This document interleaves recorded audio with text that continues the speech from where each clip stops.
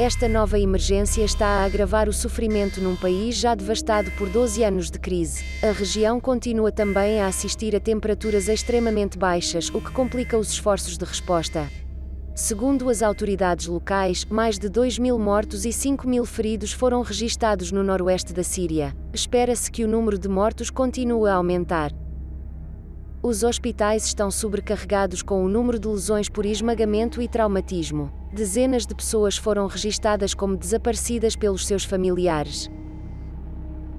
As aldeias de crianças SOS na Síria construíram, portanto, fortes parcerias com associações locais dentro de Alepo para a implementação de programas emergenciais, tais como distribuições de alimentos básicos, instalações de bombas de água, reabilitação escolar e programas de capacitação infantil através de espaços amigos da criança.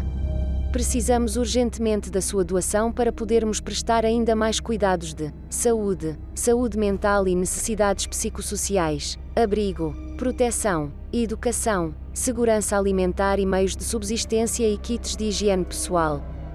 Faça agora o seu donativo.